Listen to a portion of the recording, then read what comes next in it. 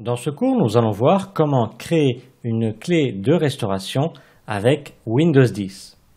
Vous avez peut-être installé Windows 10 ou alors vous venez d'acheter un ordinateur équipé de Windows 10.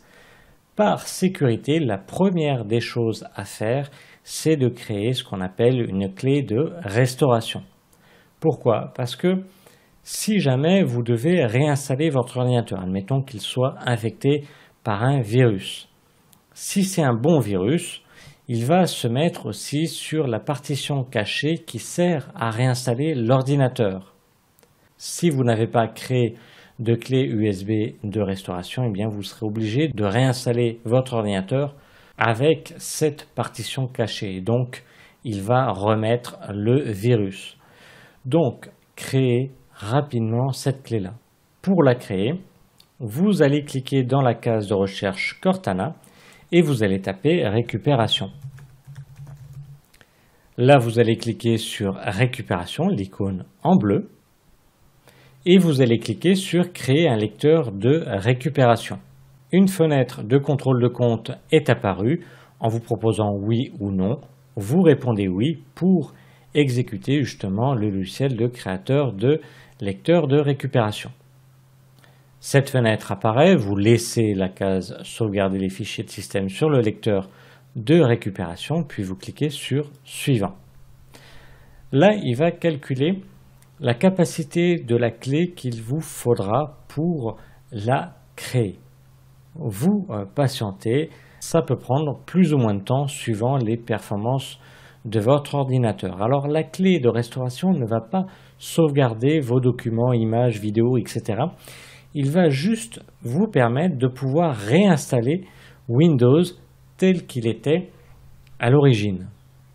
Alors, si vous n'avez pas créé de clé de restauration pour Windows 10, après l'avoir installé sur du Windows 7 ou du Windows 10, admettons, et qu'on soit à partir du 1er juillet 2016, eh bien, vous ne pourrez plus le réinstaller. Vous allez pouvoir réinstaller éventuellement Windows 7 ou Windows 8, mais pour réinstaller Windows 10, il vous faudra payer 135 euros.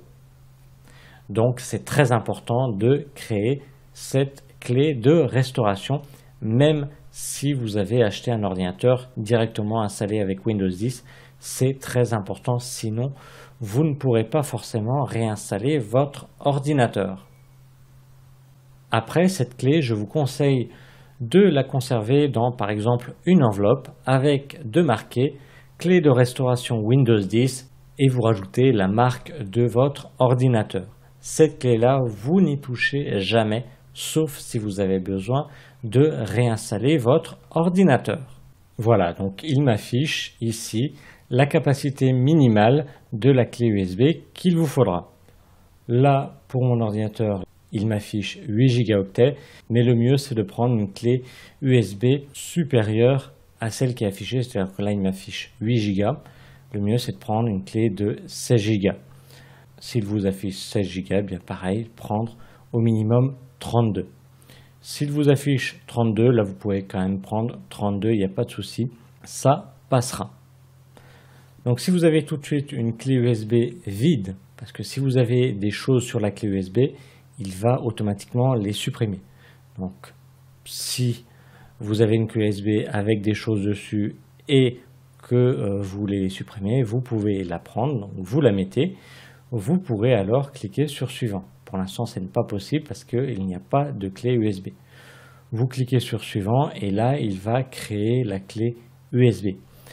Pendant qu'il la crée, ne rien faire à côté, mais par contre, déplacer la souris une fois de temps en temps pour éviter que l'ordinateur se mette en veille parce que s'il se met en veille, ça va rater euh, la création de la clé. Et une fois qu'il a terminé, il vous le dira, vous pourrez fermer ces fenêtres, retirer proprement la clé USB en cliquant sur le petit triangle en bas à droite. Vous aurez le profil de la clé USB qui apparaît uniquement quand il y a une clé USB ou un disque dur externe de brancher. Vous cliquez dessus, puis vous cliquez sur éjecter. Vous conservez bien donc cette clé USB au cas où vous aurez besoin de réinstaller l'ordinateur. Si vous n'avez pas de clé USB tout de suite, c'est pas grave, vous fermez les fenêtres, vous allez acheter une clé USB, puis vous mettez votre clé USB et vous refaites ici dans le moteur Cortana. Vous allez cliquer sur récupération et vous allez de nouveau cliquer sur créer un lecteur de récupération et là de nouveau il va rechercher la capacité minimale de votre clé USB nécessaire à la clé de restauration. Donc voilà, nous venons de voir comment créer une clé de restauration pour votre ordinateur équipé de Windows 10.